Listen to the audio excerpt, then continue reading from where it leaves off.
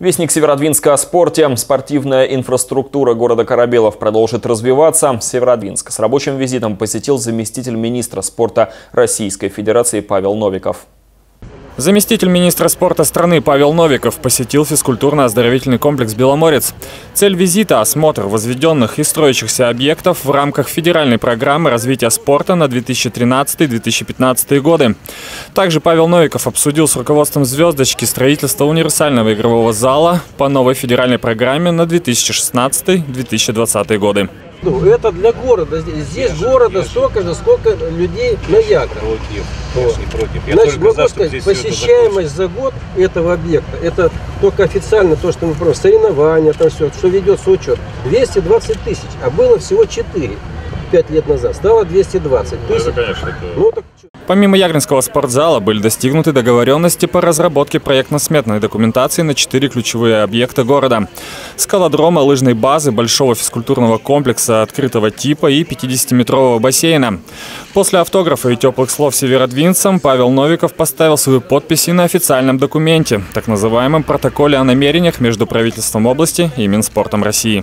Исторический момент, протокол объектов до 2020 года. Министерство спорта страны. Я думаю, такого случая. Ура! Давайте поаплодируем.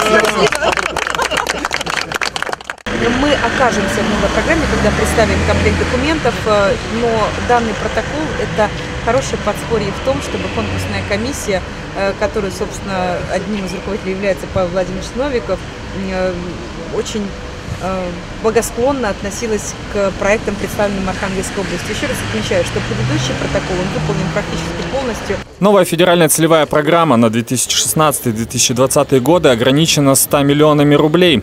Типовой проект игрового спортзала на Яграх оценивается в 300 миллионов, и тут руководство «Звездочки» придется представить либо другой проект, либо надеяться на поэтапное строительство. Ну, впечатление у меня, я бы так сказал, просто восторженное. Ну, молодцы, прекрасный объект, прекрасный стадион, э, фитнес замечательный. И, конечно, э, все продумано до мелочей. Здорово, молодцы. И, конечно, после того, что здесь видишь, хочется по-другому и помогать вам, и хочется, естественно, вот в ваш регион вкладывать еще больше денег. Вот, я обязательно доложу об этом министру Виталию Ильичу Мутко и думаю, что он просто будет рад и, естественно, даст все необходимые поручения команде с тем, чтобы Северодвинску и дальше тоже помогать. А сегодня утром в столице Поморья заместитель министра спорта страны наградил мэра Северодвинска Михаила Гмырина. Памятную медаль и грамоту вручил за вклад в подготовку и проведение Сочинской Олимпиады и Паралимпиады. Документ подписан президентом Путиным. Константин Мухин, Семен Самигулин, Вестник Северодвинска.